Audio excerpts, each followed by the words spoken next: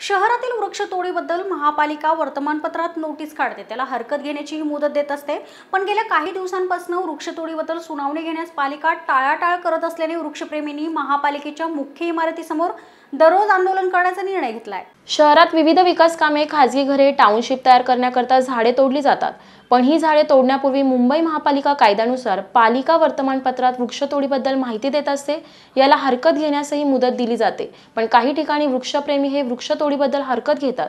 तर ही हरकत घेतल्यानंतर त्याची सुनावणी संबंधित अधिकारी यांनी घ्यायची असते. पण ही सुनावणी घेण्यास अधिकारी टाळत आहेत. याबद्दल वृक्ष प्राधिकरणाचे अध्यक्ष म्हणून आयुक्त काम पाहतात.